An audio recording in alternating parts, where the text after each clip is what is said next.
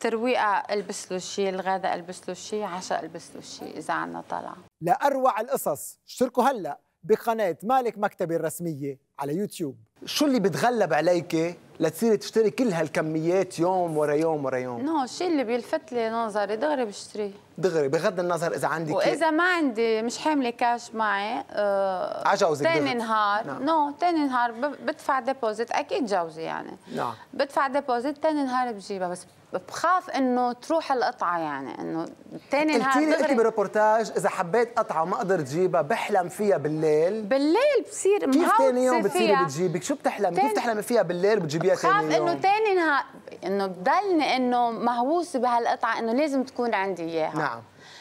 تاني نهار دغري بركض مثلا إنه بروح على البنك كيف بتكوني أمنتي؟ قام تروحي على البنك. بروح على البنك دغري بروح بجيبها. أو بتصل بقول لها إنه أصحابين المحلات اجمالا بيعرفوني. بحط deposit أو بلا deposit على في التليفون. لذه أنتم عم تشتري؟ أول شيء لذة بحب أمتلك القطعة تكون بخزانتي بطمن خلص إنه صارت عندي وخلص إذا. شفتيها على غيرك؟ no على غيري. ما بستحلي الغرض اللي على غيري. بسألها إنه منين جايبتها؟ بتروح مثلها. بجيب مثلها. ما عندي مشكلة. أه؟ نعم.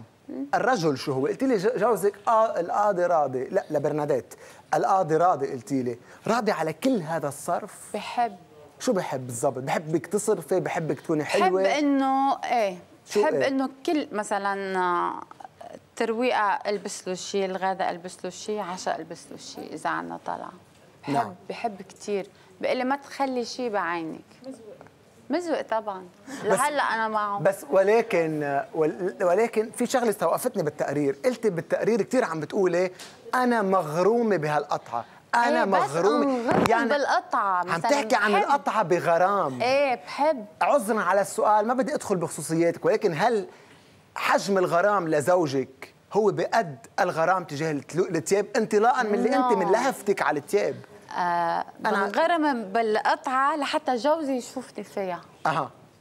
تقول بعض الدراسات الدراسات اللي بتطلع إنه المرأة قد تكون إنه عم بتعاني من آه، من فراغ عاطفي معين تلجأ إلى التسوق. لا بخاف من هون مثلا السؤال. بخاف إنه جوزي يطلع بوحدة تانية. عشان هيك بضلني إنه جوزك شو بيشتغل؟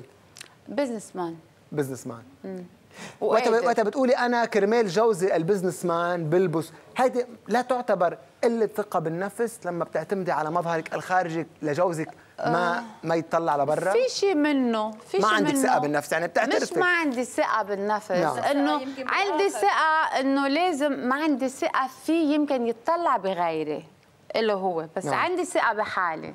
بس اجمالا إنه لازم رتب حالي ليكون إنه عم يطلع فيه مش بغيري. نعم.